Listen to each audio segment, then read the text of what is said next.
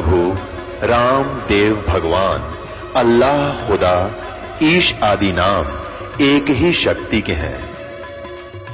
वो कैसा है, कहाँ है, कैसे मिलता है, किसने देखा है? ये प्रश्नवाचक चिन्ह पूर्ण रूप से हटाने के लिए अवश्य सुनिए जगत गुरु तत्वदर्शी संत रामपाल जी महाराज के अमृत वचन। सर्व पवित्र धर्मों के पवित्र शास्त्रों के आधार पर। दास कोई भिखारी नहीं था, परमात्मा का दिया हुआ दो रोटी भी थी। जूनियर इंजीनियर की नौकरी करता था, सेठ नहीं था तो भूखा भी नहीं रहता था। लेकिन मालिक का आदेश हुआ और परमात्मा का आदेश सिरोधार्य हुआ। इसके बाद इस कार्य का प्रारंभ मालिक ने करवा, दास कर रहा है। तो यहाँ ऐसा कुछ नहीं है। यदि यहाँ आओगे, सारी बुराई छोड़नी पड़ेगी। नहीं तो यहाँ आने की कोई आवश्यकता नहीं। पुणात्मा जीव से नहीं छूटेगी बुराई। परमात्मा आपका साथ देगा, अवश्य देगा। आप देखना। आपको बीड़ी से तमाकू से दूसरा पीवेगा तो भी नफरत हो जाएगी। आपको इतनी कृपा हो जाएगी परमात्मा की आप आपको नुकसान करने लग जाएगा, फिर वो तम्बाकू आप छुओ भी नहीं।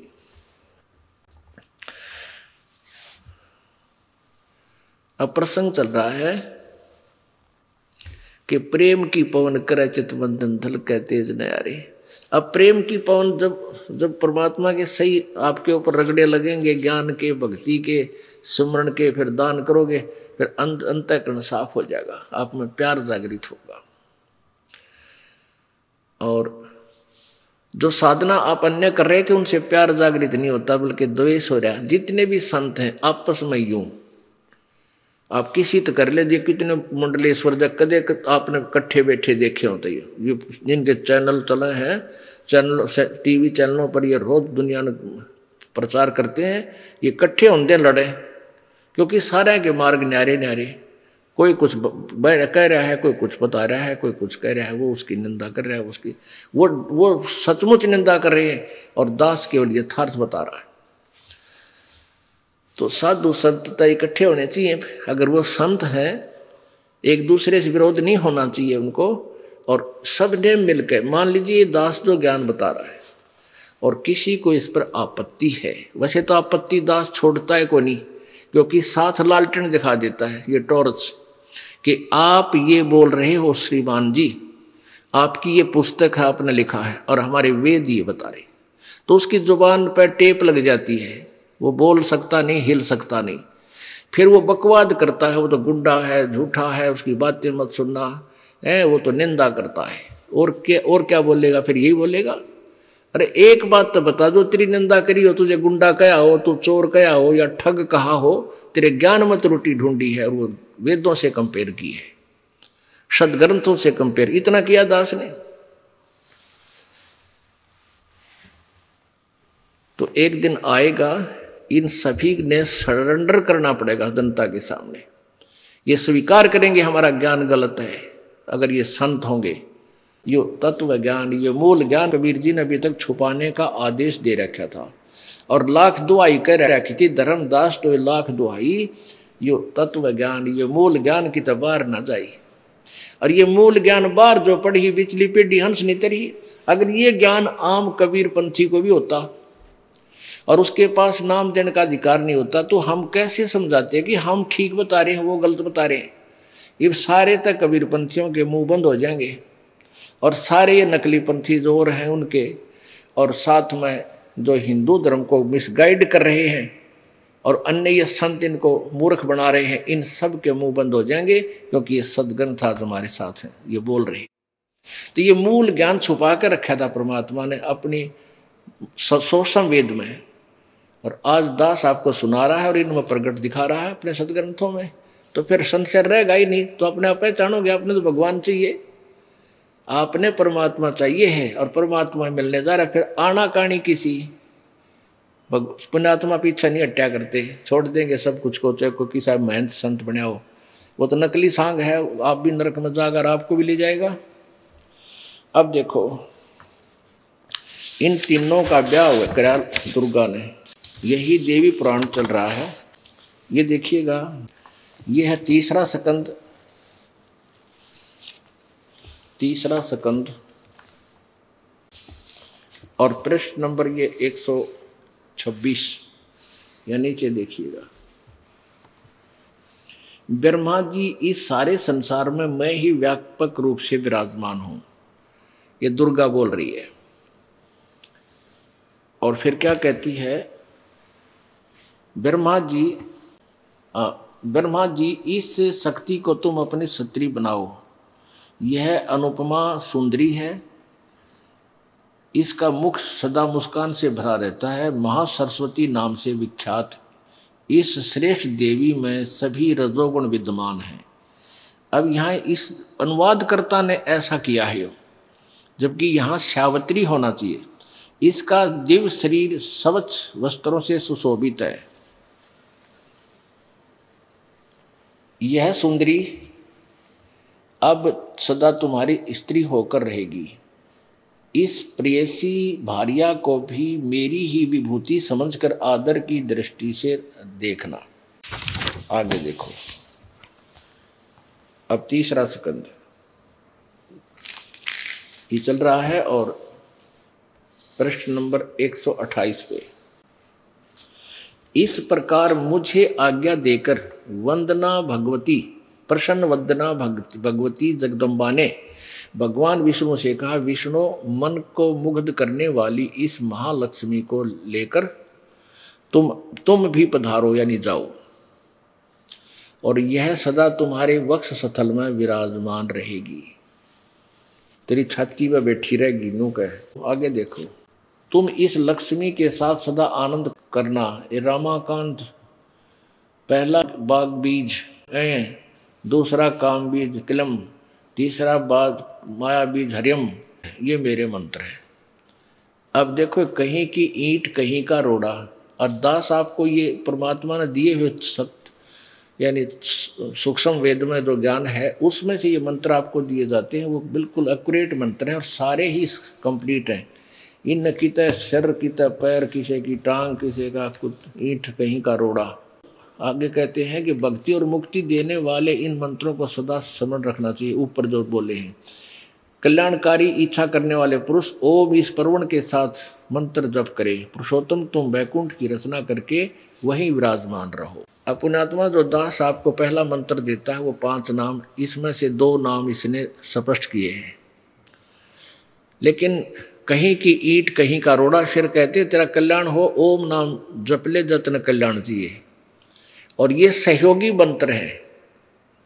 ये मोक्ष के अकेले से मोक्ष नहीं, ये सहयोगी मंत्र हैं। जैसे रोग काटने के लिए ग्लूकोज अलग है, ग्लूकोज रोग नहीं काटती, वो सहयोग देती है शरीर को स्वस्थ बनाने में, लेकिन रोग काटने की औषधि नारी होती है। आगे देखो। देवी ने कहा, शंकर, मन को मुग्ध करने वाली यह महाकाली गौरी नाम से विख्यात है। तुम इसे पत्नी बनाओ। पत्नी रूप से स्वीकार करो। कैलाश की रचना करके वहीं रहो और इसके साथ सुखपूर्वक आनंद करो। तुम्हारी लीला में तमोगुण की प्रधानता रहेगी। अब ये क्लियर हो गया पुण्यात्माओं। जो परमेश्वर जी ने 600 वर्ष पहले जो कथा सुनाई थी जो ज्ञान दिया था, अपने सब संवेद में सुख संवेद में, यानी सचिदानंद घन की वाणी में, अर्थात कबीर वाणी में, वो हंड्रेड परसेंट शत प्रतिशत सत्य है और आज हमारे सदग्रंथ उसको सेकंड कर रहे हैं, उसका समर्थन कर रहे हैं। भले ही इन सदग्रंथों में कंप्लीट नॉलेज नहीं है, फिर भी कबीर परमेश्वर से सुना हुआ। ये ब्रह्मा जी कहीं ना कहीं से थोड़ा बहुत हिंट दे ही रहा है। अब दास आपको दिखाएगा श्रीबद्ध भगवत गीता, जिसमें तीनों देवताओं ब्रह्मा, रजगुण ब्रह्मा, सतगुण विष्णु, तमगुण शिव जी की उत्पत्ति स्पष्ट होती है। एक बार फिर कंसेप्ट क्लियर करना पड़ेगा कि रजगुण ब्रह्मा है सतगुण विष्णु तमगुण शिव जी। फिर ये पवित्र गीता आपके समझ में आवेगी और देवी पुराण में स्पष्ट किया है और शिव पुराण में स्पष्ट किया है कि दुर्गा को प्रकृति भी कहते हैं। पवित्र श्रीमद् भगवत गीता पवित्र चारों वेदों का सारांश है। और चारों वेद इतने मोटे मोटे हैं जिसमें अठारह हज़ार कुछ मंत्र हैं। और गीता जी में केवल सात सौ मंत्र हैं। तो अठारह हज़ार मंत्रों को सात सौ मंत्रों में लाना, उसके लिए कोड वर्ड सांकेतिक शब्द ज़्यादा है। इसलिए पंद्रहवें अध्याय के प्रथम श्लोक में बताया है कि तत्वदर्शी संत ही पूरा ज्ञान इसको खोल कर समझाओगा गीता जी को, और तत्वदर्शी संत वो होगा जो उल्टे लटके संसार रूपी वृक्ष के जड़ से लेकर तना, डार और शाखाओं को भिन्न भिन्न बता देगा। तो परमेश्वर कबीर जी ने ही आकर यह भूमिका की थी, तत्वदर्शी संत की, और उन्हीं का दिया हुआ ज्ञान इस दास के पास उपलब्ध है। कबीर परमेश्वर जी ने कहा था, कबीर, अक्सर पुरुष एक पेड़ है, निरंजन वा की डार, और तीनों देवा शाखा है, ये पात रूप संसार। और जड़ है वो कौन है, वो अलग है, वो परमात्मा है। बाहर जो तुम्हें दिखाई देते हैं, ये ऐसी सचिथि है। तो ये बताया है पंद्रहवें अध्याय के प्रथम श्लोक में गीता जी में कि जो इस संसार रूपी वृक्ष के भिन्न भिन्न बता देगा, वो तत्वदर्शी संत है। और चौथे अध्याय के चौंतीसवें श्लोक में गीता जी में कहा कि अर्जुन उस तत्व ज्ञान को समझने के लिए उन तत्वदर्शी संतों की खोज कर तो यहाँ तत्वदर्शी संत की पहचान भी बता दी। पंद्रहवें अध्याय के प्रथम श्लोक में। तो यहाँ देखिएगा, श्रीमद देवी भागवत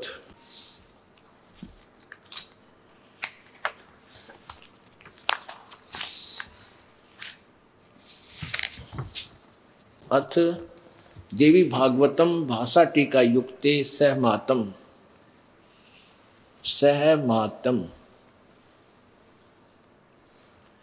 और खेमराज श्री कृष्ण दास प्रकाशन बंबई से प्रकाशित है।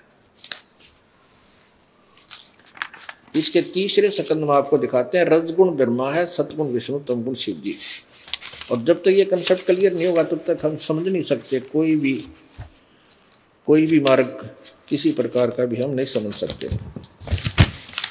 ये देखिएगा। अथ श्रीमद श्रीमद देवी भागवते भाषा टीका युक्त तृतीय सकंध है प्रारंभते।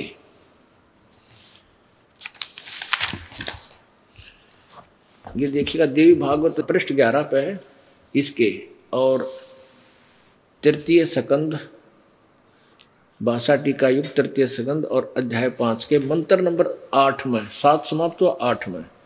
भगवान शंकर कह रहा है कि, हे माता, यदि हमारे ऊपर आप सदा दया युक्त हो तो हमको तमोगुण में किस प्रकार प्रदान किया? ब्रह्मा रजोगुण और हरि सतोगुण अब संस्कृत देखो, क्योंकि संस्कृत भी साफ़ है, इसलिए ये गड़बड़ नहीं कर सके। सच्चाई लिखनी पड़ी अनुवादकर्ता ने। यदि दया धर्मना न सदाम्बिके, कथम अहम विहित है शंकर जी कह रहे हैं कि यदि माता तू हमारे पर दया, दयालु है, हमें कहती है, मैं तुम्हारे ऊपर बहुत दयालु हूँ तो मुझे बहुत प्यारे हो तो इसे कुकर्म में क्यों ला दिए हम? मैं रजोगुण क्यों बना दिया, तमोगुण क्यों बना दिया? कितने जीव मरे मेरे कारण और ब्रह्मा जी को रजगुण क्यों बना दिया? सब विवश होकर के संतान उत्पत्ति करते हैं प्रभाव से। और विष्णु जी को सतोगुण क्यों बना दिया? ये एक दूसरे में फंसे रहते हैं नकली सांग में। झूठे बेटा बेटी आज मर जा कल कौन किसका? अरे जब तक ये है, तब तक हम इनके बिना रह नहीं सकते। ये ये सतोगुण के दबाव में हम ऐसे यहाँ मूर्ख बने हुए हैं। शंकर जी रोते हुए कह रहे हैं अपनी माँ से, दुर्गा से। और दुर्गा साची बताती नहीं। एंड वेंड करे, न बनाए रखे। कि कहीं इनको सच्चाई का पता लग जाए, ये कार्य छोड़ दें। ये देखो। अब कहते हैं, भगवान शंकर कह रहे हैं, यदि दया धर्मना न अंबिके कथम अहम विहित किस प्रकार मैं बना दिया? तमोगुण और कमल जय कमल से उत्पन्न होने वाले ब्रह्मा को रजोगुण संभव क्यों बना दिया? और सुहित क्यों सतोगुण हरि। सत, हरि को सतो, विष्णु को सतोगुण क्यों बना दिया? किस लिए बना फिर हमारे को रजगुण, तमगुण, सतगुण। इति सिद्धम रजगुण ब्रह्मा है, सतगुण विष्णु तम गुण शिव जी और प्रकृति दुर्गा को कहते हैं। ये आपने शिव पुराण के रुद्र संहिता के अध्याय नंबर छह में स्पष्ट देख लिया। अब देखिए इन तीनों देवताओं की उत्पत्ति। श्रीमद भगवत गीता, नोट भागवत। ये देखिएगा, क्योंकि भागवत सुधा सागर को कहते हैं ये लोग। श्रीमद भगवत गीता। जय जयल गोविंद का इसका अनुवादक है। और चौदवा अध्याय, मंत्र, श्लोक नंबर तीन, चार, पाँच में। ये कंसेप्ट क्लियर हो जाए, ये देखिए। अध्याय चौदह। तीन श्लोक को हम पढ़ कर सुनाते मंत्र को। हे अर्जुन, मेरी वैसे इसका अर्थ है माम ब्रह्म, मुझ ब्रह्म की, मुझ ब्रह्म। अच्छा वैसे इनका अनुवाद पढ़ते हैं। हे अर्जुन, मेरी महत ब्रह्म मूल प्रकृति, संपूर्ण भूतों यानी प्राणियों की योनि है, अर्थात गर्भाधान स्थान है, और मैं उस योनि में चेतन समुदाय गर्भ को स्थापना करता हूँ, इस जड़ और तत्व माने उससे, उसके संयोग से, इन उस जड़ चेतन से, उसके संयोग से सभी प्राणियों की भूतों की उत्पत्ति होती है। अब चौथे में क्या कहा है? अर्जुन नाना प्रकार के स, की सभी योनियों में जितने भी कुत्ते गदे सुअर की योनियाँ हैं जितनी भी मूर्तियाँ अर्थात शरीरधारी प्राणी उत्पन्न होते हैं प्रकृति यानी दुर्गा उन सब की गर्भ धारने वाली माता है और मैं बीज स्थापन करने वाला पिता हूँ। पाँचवें में, हे अर्जुन, सतगुण विष्णु, रजगुण ब्रह्मा और तमगुण शिव जी ये प्रकृति से उत्पन्न, ये दुर्गा से उत्पन्न हुए हैं। तीनों गुण अविनाशी जीव आत्मा को शरीर में बांधते हैं। अब काल अपने आप बरी होना चाहता है कि मैं नहीं, ये ब्रह्मा, विष्णु, महेश ही तुम्हें यहाँ कर्मों के बंधन में बांधे रखते हैं। जैसा आपने गीता जी दाय नंबर पंद्रह के श्लोक नंबर एक, दो, तीन और चार में देख, सुना कि उसमें भी ये काल कहता है कि ये तीनों गुण यानी रजगुण, ब्रह्मा, सतगुण, विष्णु, तमगुण शिव जी ही सभी प्राणियों के कर्मानुबंधनी, कर्म के अनुसार बांधन, बंधन करने के मूल कारण है। ये तुम्हें यहाँ फंसाए रखते हैं। और परमेश्वर क्या बताते हैं कबीर जी? कि नहीं, ये काल तुम्हें बहका रहा है। ये सबने मिलकर ही, इन तुम, तुमको, इन सभी ने मिलकर आपको यहाँ फंसा रखा है। क्या बताते हैं? ब्रह्मा, विष्णु, महेश्वर, माया और धर्मराया कहिए।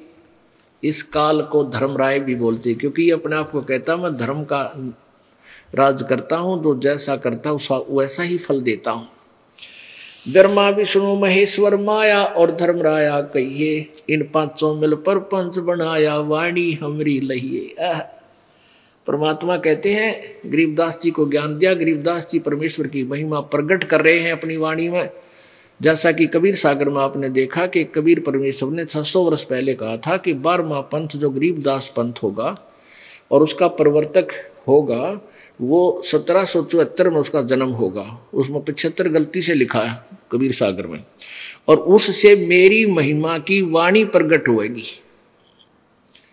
लेकिन वो गरीबदास पंथ वाले भी उस वाणी को नहीं समझ सकेंगे। फिर बर में पंथ में चल के हम ही आएँगे और फिर उस वाणी को निर्णय करके समझाएँगे। सब पंथों को मिटाकर एक ही पंथ चलाएँगे तो ये परमेश्वर की महिमा की वाणी गरीबदास जी ने प्रकट की है कि कबीर जी क्या बताना चाहते हैं? क्या बताते हैं कबीर जी? इन पाँचों मिल जीव अटकाए युग युगन हम आण छुटाए। इन पाँचों ने मिलकर तुम्हें यहाँ फंसा रखा है और युग युग, प्रत्येक युग में आके हम ही छुड़वाते हैं तुम्हारे को इनसे। सत भक्ति करवा के सच्चा ज्ञान दे के तुम्हारा विश्वास दृढ़ करा के और सतलोक ले जाते हैं। बंदी छोड़ हमारा नामम, अजर अमर है अस्थिर ठामम। कबीर परमेश्वर कहते हैं, बंदी छोड़ है मेरा नाम, यानी बंद छुड़वाने वाले। और हमारा स्थान सतलोक अजर अमर है, वो कभी नष्ट नहीं होता, वो शाश्वतम स्थान, स्थानम, वो सनातन परम धाम है, जो हमारा वास्तविक स्थान है।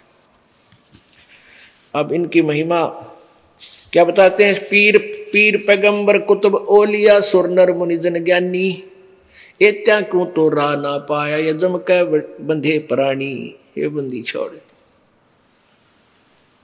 अब ये है, ये सूक्ष्म वेद इस सुख यानी सचिदानंद घन की वाणी, इसके एक श्लोक को अनुवाद करने के लिए पीर पैगंबर कुतुब ओलिया सुरनर मुनिजन ज्ञानी इत्या को तो रा ना पाया ये काल के बंधे प्राणी। इनको तो तत्व ज्ञान नहीं मिला, ना देवताओं को, ना ऋषियों को, ना महर्षियों को। इनको तत्व ज्ञान प्राप्त नहीं था, इसलिए ये काल की ही डोर से बंधे रहे। परमेश्वर कहते हैं कबीर जी कहते हैं, सुर नर मुनिजन तैतीस करोड़ी, बंदे सभी निरंजन डोरी। ये काल की डोर का बंद रहे इनको यथार्थ ज्ञान नहीं है। और पुण्यात्मा, यहाँ एक बात समस्या आ जाती है कि क्या ब्रह्मा, विष्णु, महेश और देव ऋषियों ने किसी को ज्ञान नहीं था? हाँ किसी को ज्ञान नहीं था। अब या फिर कुनीन होगी, या अलग उतरा अलग में उतरे नहीं हमारे दिमाग में स्वीकार्य नहीं हो, गले नहीं उतरेगी। लेकिन यह उतारेंगे गले। वो गला, गले उतरे, अंदर जाए, बिना दवाई काम नहीं करे। अगर ऊपर रहेगी तो। तो इसके लिए फिर आपको प्रमाण दिखाना पड़ेगा। पुणात्माओं प्रत्येक सत्संग में ये सत्संग कहो, या लेक्चर कहो, या क्लास कहो, ये पीरियड कहो, ये प्रत्येक पीरियड में यहाँ एक सामूहिक सत्संग सतल है। क्या होता है कि जैसे ये चार, तीन, चार दिन का हम लगातार इसलिए करते हैं कि एक परिवार में पाँच छः सदस्य हैं। तो दो आ जाते हैं पहले दिन, वो चले जाते हैं सत्संग, एक सुनकर दिन दिन का मान ले। फिर शाम में दूसरे आ जाते हैं, आसपास हैं तो यहाँ आसपास का ऐसा है। और फिर तीसरे आ जाते हैं अगले दिन तो ऐसे वो अपना तीनों दिनों में टर्न वाइज सारे लाभ उठा ले जाते हैं। तो इसलिए दास चाहता है कि रह रह कर ये रेग मार, बार बार मारा जाता कि सब का मैल उतर जाए। और जो पुण्यात्मा बार बार सुनते हैं प्रभु की महिमा, चाहे लाख बार सुन ले तो बार भी आनंद आना चाहिए। यदि आपको आनंद नहीं आ रहा कि तो कल सुनी थी आज भी फिर सुना रहे हैं गुरु जी तो आप असवस्थ है। आप अभी भक्ति योग नहीं हुए हो। जैसे व्यक्ति को बुखार हो जाता, मलेरिया, उसको रोटी भी कड़वी लगती है, मनुखा दाख भी कड़वी लगती है। और उसका इलाज क्या है, कड़वी लग गए हैं तो तो कुनीन कड़वी खानी पड़ेगी। फिर वो स्वस्थ होगा और स्वस्थ होने के बाद फिर वो सूखी रोटी भी उसको मीठी लगेगी।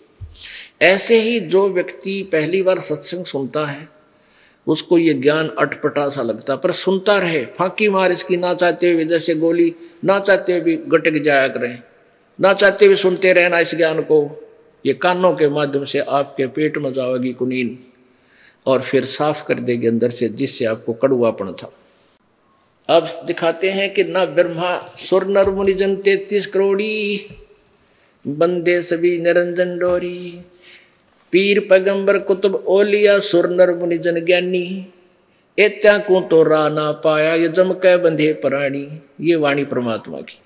अब इस वाणी को सिद्ध करना अति आवश्यक है, नहीं तो कोई भी नहीं मानेगा कि ब्रह्मा, विष्णु, महेश सुर माने देवता है। इन देवताओं को ज्ञान नहीं था। और इन मुनियों को, ब्राह्मणों को कोई ज्ञान नहीं था, ऋषियों को। तत्व बिल्कुल भी ए बी सी ये तो वेद ज्ञान था ही नहीं इनको। अब ये सिद्ध करेंगे अपने सदग्रंथ, श्री मद देवी भागवत देखिए। तो पुण्यात्मा, इस जितनी बार भी आप सत्संग सुन रहे हो, और आपको प्रत्येक, जितनी बार भी रह रह कर जो बार बार रिपीट भी की जाती है तो भी अच्छी लगती है तो आप स्वस्थ हो। जैसे सुबह रोटी खाई आपने और शाम में फिर आपकी रुचि रोटी भोजन में है तो आप समझते हो। यदि अरुचि है तो आप अस्वस्थ हो। लिए वो कड़वी दवाई फिर खाओ। कहने का भाव यह है कि ये मान लिया आपको लगता है गुरु जी ने कल भी दिखाई थी, परसों भी दिखाई थी। ऐसा मन में आता है तो आप अभी अस्वस्थ है, पर फिर सुन इस कड़वी दवाई ने खाता ही रहे। अरुचि से भी सुनता रहे, ये रोग ऐसे ही कट जाएगा। फिर आपको चाहे सौ बार सुननी पड़े, सौ बार अच्छी लगेगी। अब देखिएगा। श्रीमद देवी भागवत। गीता प्रेस गोरखपुर से प्रकाशित है।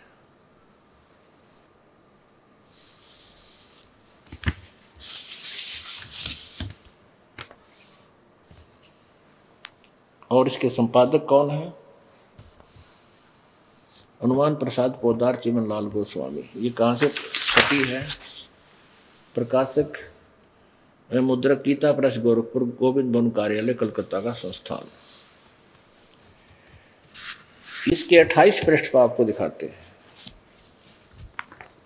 पहला सकंद। प्रश्न नंबर ट्वेंटी एट अट्ठाईस पे। और संक्षिप्त देवी भागवत। नारद जी और व्यास की वार्ता हो रही है, यहाँ देखिएगा।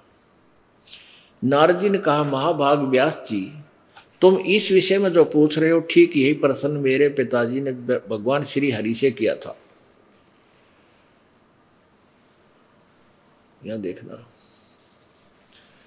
ये वे चराचर जगत के आश्रय दाता जगत गुरु एवं देवताओं के भी देवता हैं। ऐसे जगत प्रभु भगवान श्री हरि, यानी विष्णु जी महान तप कर रहे थे। उनकी समाधि लगी थी। यह देखकर मेरे पिता ब्रह्मा जी को बड़ा स्त्रीय हुआ। अतः उन्होंने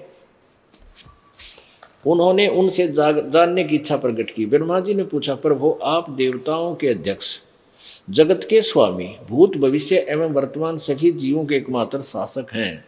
भगवान फिर आप क्यों तपस्या कर रहे हैं? और किस देवता यानी किस भगवान की आराधना में ध्यान मगन है?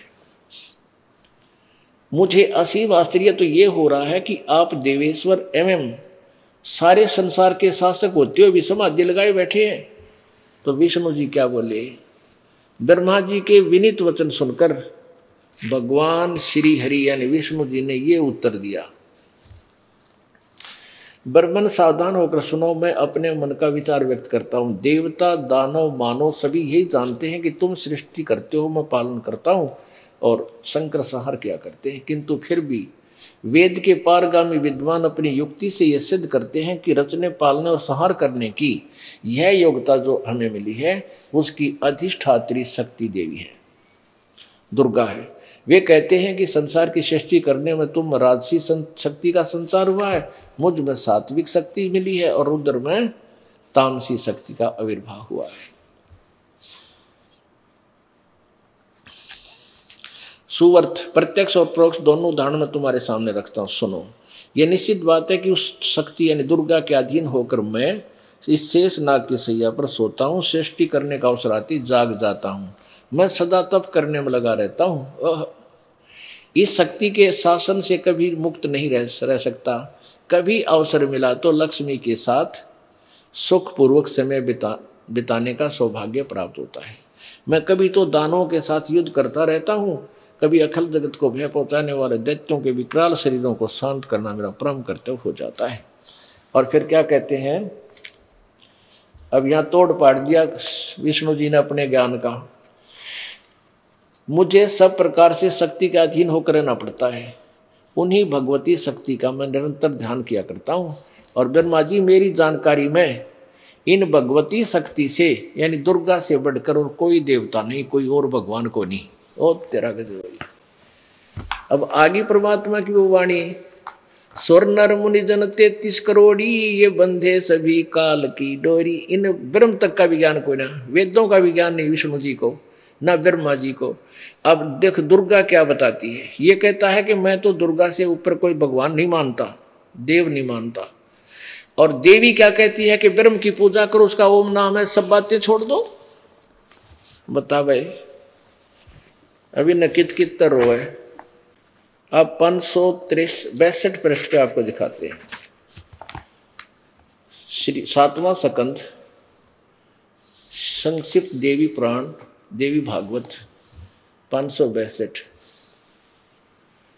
अब देवी बता रही है, हिमालय को ज्ञान उपदेश दे रही है। ब्रह्म का ब्रह्म स्वरूप का वर्णन। पहले दिए अपनी अटकल्ला है कि मेरा ऐसी भक्ति करो, फिर कहती, वो ब्रह्म कैसा है, वो बताती हूँ। श्री देवी जी कहने लगी है, उस ब्रह्म का क्या स्वरूप है? यह बतलाया जाता है। जो प्रकाश रूप, सबके अत्यंत समीप, में सचित हृदय रूप गुहा में सचित होने के कारण गुहाचर नाम से प्रसिद्ध और महान पद अर्थात परम प्राप्य है। वह समस्त प्रजा के ज्ञान से प्रिय है, अर्थात किसी की बुद्धि में आने वाला नहीं है। ऐसा तुम जानो। जो परम प्रकाश रूप है, जो सूक्ष्म से भी अत्यंत सूक्ष्म है, जिसमें संपूर्ण लोक और उन लोकों में निवास करने वाले प्राणी सचित हैं, वही यह अक्षर ब्रह्म है। वही सबके प्राण है, वह सबकी वाणी है और वही सबके मन है। यह, वह वह यह सब परम सत्य, ये परम सत्य और अमृत अविनाश इसी तत्व है। सौम्य, उस वेदनी योग लक्ष्य का तुम वेदन करो, मन लगाकर उसमें तंड में हो जाओ।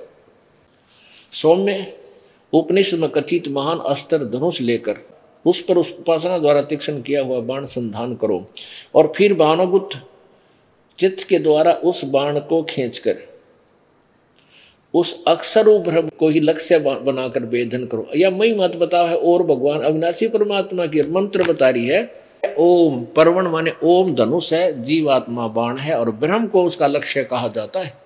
उस एकमात्र ब्रह्म को ही जाने दूसरी सब बातें छोड़ दे।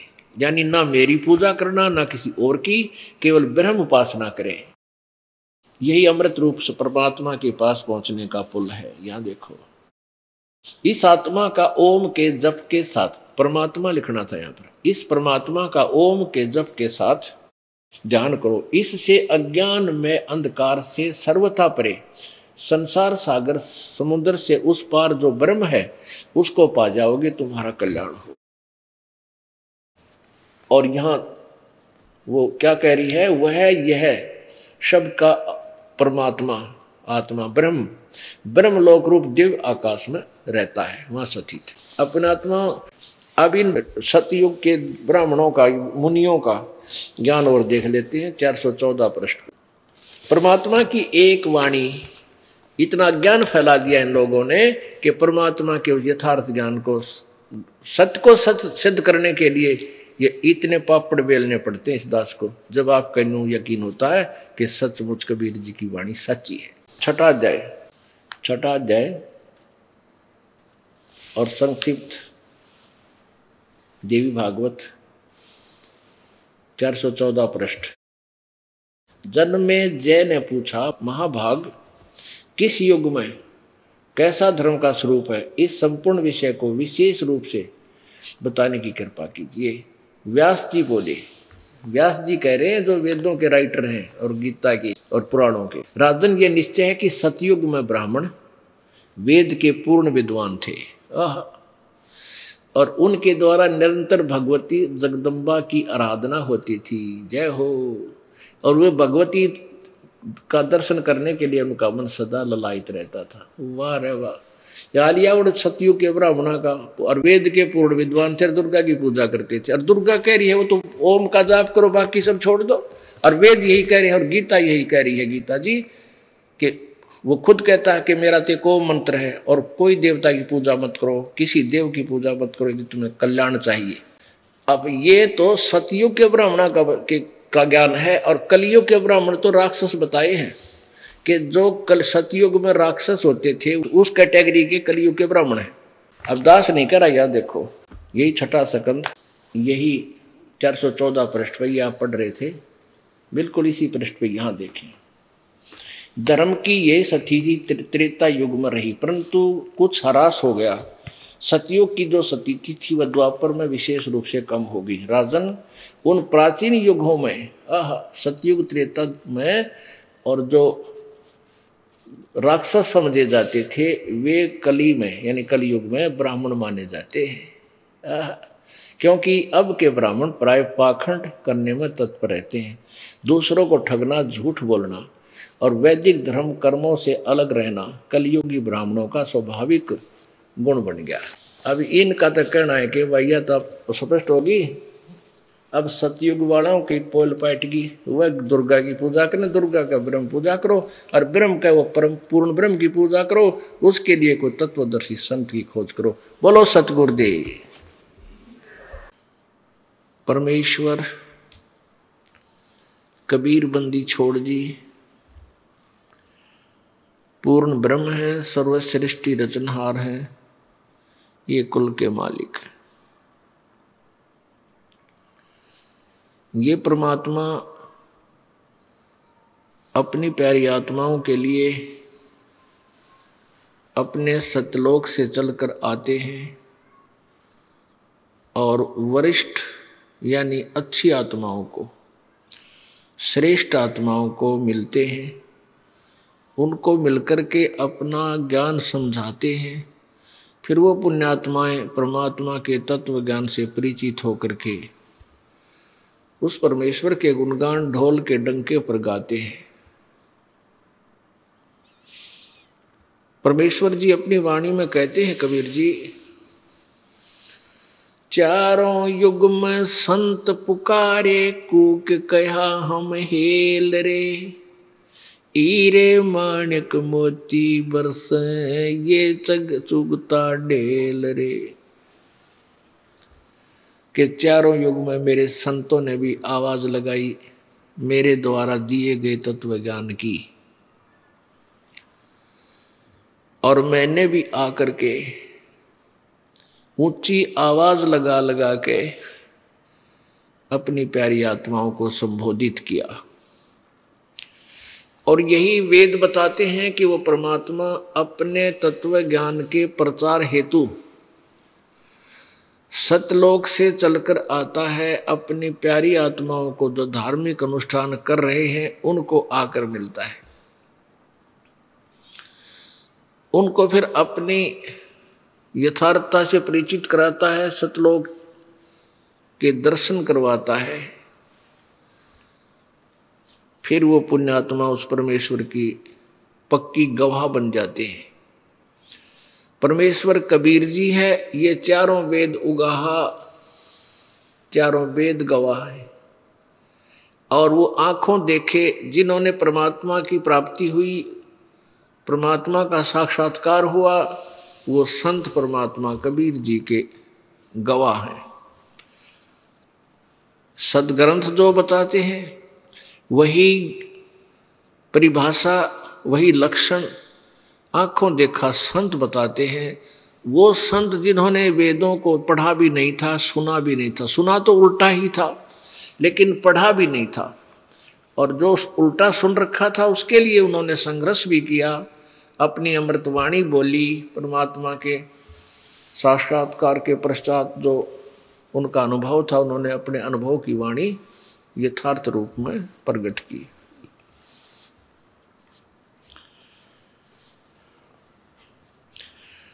ये जो पाँच दिवसीय सम्मेलन है, सत्संग है, ये धार्मिक अनुष्ठान जो चल रहा है। ये इसी खुशी में है कि फाल्गुन मास की द्वादशी को फाल्गुन मास की द्वादशी को, सुदी को, यानी फाल्गुन उतरते की द्वादशी को। पूर्ण परमात्मा, कबीर देव जो बनारस में जुलाहे की भूमिका करके सन 1518 में चले गए थे शरीर सतलोक में। उसके बाद वो सन 1727 में सन 1727 में हरियाणा प्रांत जिला जज्जर गाँव छुडानी के खेतों में संत गरीबदास जी दस वर्षीय बालक को सशरीर आकर के मिले। एक महात्मा के रूप में उनको मिले थे। ये दिन विशेष पर्व के रूप में हम सभी परमेश्वर अनुयायियों ने मनाना चाहिए। और इसके उपलक्ष्य में अधिक से अधिक भक्तों ने यहाँ आश्रम में आकर के इस अमृत ज्ञान का लाभ उठाना चाहिए। हमारे लिए सबसे बड़ा पर्व है, सबसे बड़ा त्योहार है कि वो परमात्मा यहाँ आए, अपनी प्यारी आत्मा गरीबदास जी को अपने ज्ञान से ओत ओत प्रोत किया। और उनको सचखंड में लेकर गए सत्यलोक में। और वहाँ से फिर उनको छोड़ा।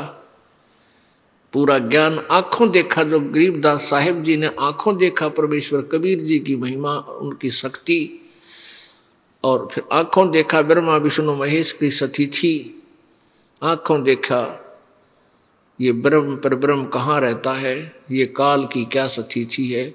तो वो जो का जो आँखों देखा, लिखा है।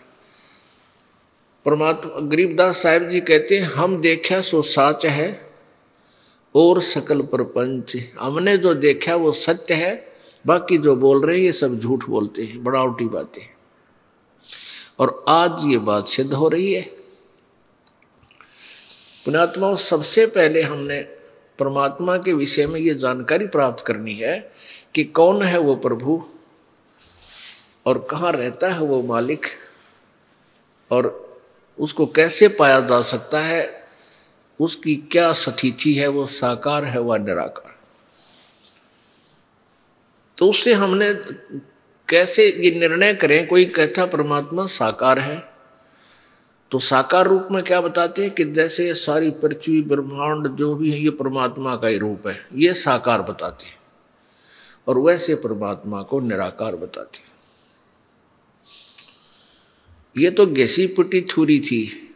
ये तो बनावटी बातें थी। ये कोई बात हुई? कहते साकार रूप में यही परमात्मा है। अब जैसे आपको सृष्टि रचना सुनाई थी। सृष्टि रचना में ये विस्तार से आपको बताया गया। और अन्य संतों ने क्या बताया है? जैसे राधा स्वामी पंथ और धन धन सतगुरु सच्चा सौदा पंथ सिरसा वाले और जगमाल वाली वाले, मथुरा वाले, ये जय गुरुदेव वाले, ये सारे एक कुएँ का पानी है। ये एक ही कुएँ का जल है, इसमें कोई अंतर नहीं। वही इनका ज्ञान घैसा पेटा कहीं की ईंट, कहीं का रोड़ा।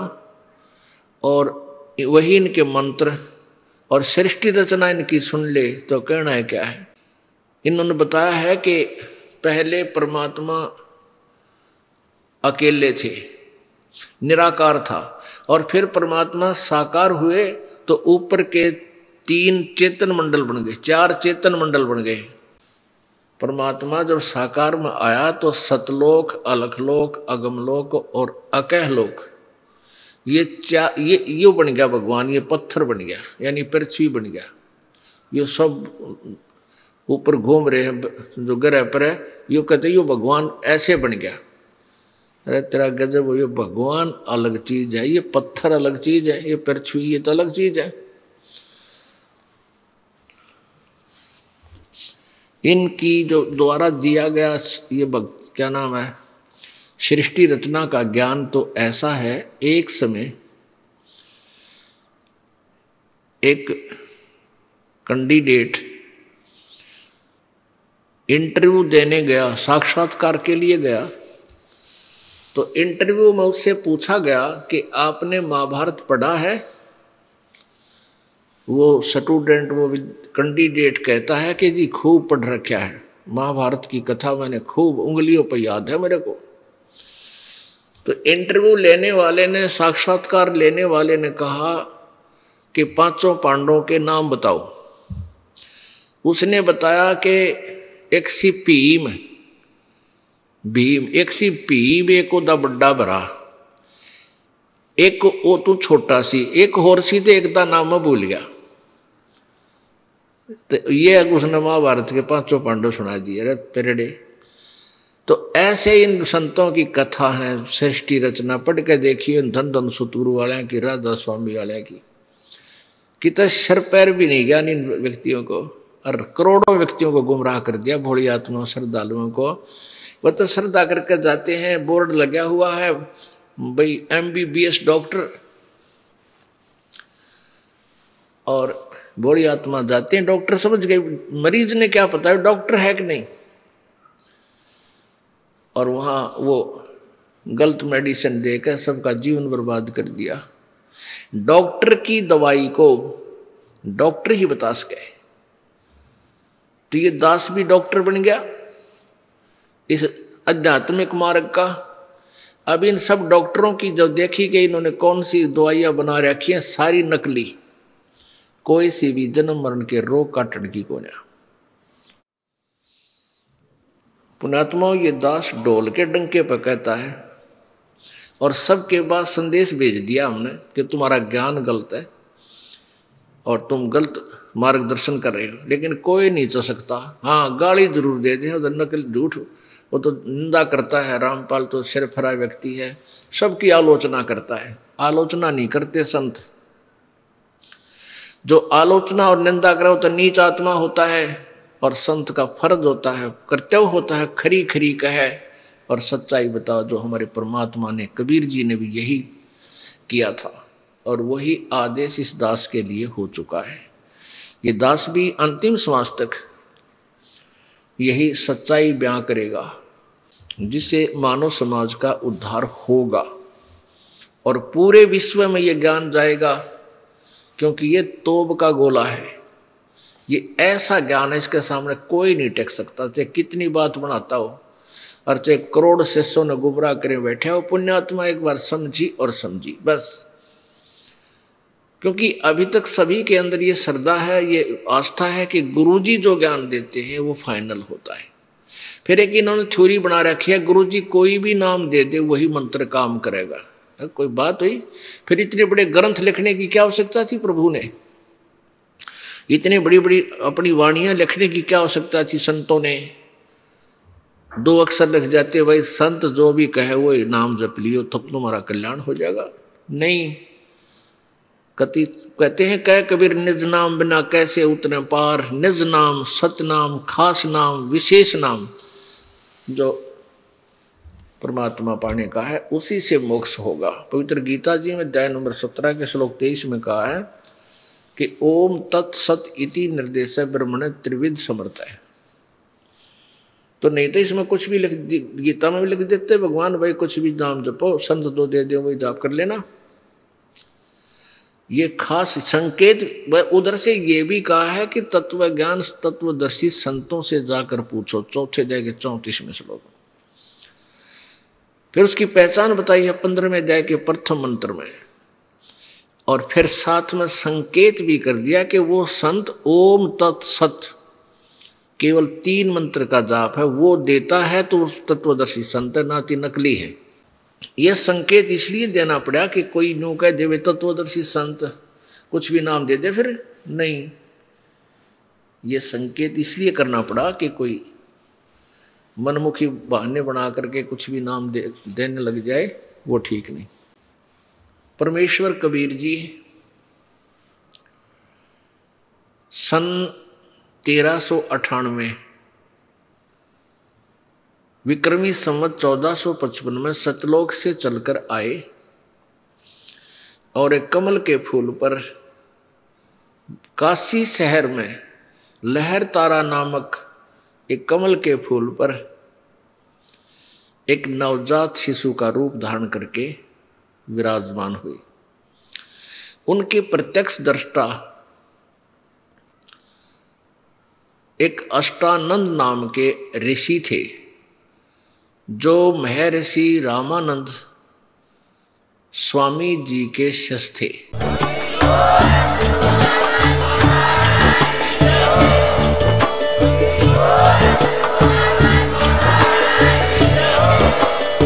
आप सुन रहे थे जगत गुरु तत्वदर्शी संत रामपाल जी महाराज जी के मंगल प्रवचन। अधिक जानकारी के लिए विज़िट कीजिए हमारी वेबसाइट www.jagatgururampalji.org संत रामपाल जी महाराज जी के शुभ आशीर्वाद से पूरे विश्व भर में 500 से भी ज़्यादा नाम दीक्षा केंद्र हैं, जिन पर संत रामपाल जी महाराज जी द्वारा ऑनलाइन निशुल्क नाम दीक्षा दी जा रही है। अपने नजदीकी नाम दीक्षा केंद्र का पता करने के लिए संपर्क करें। Eight two two two eight eight zero five four one.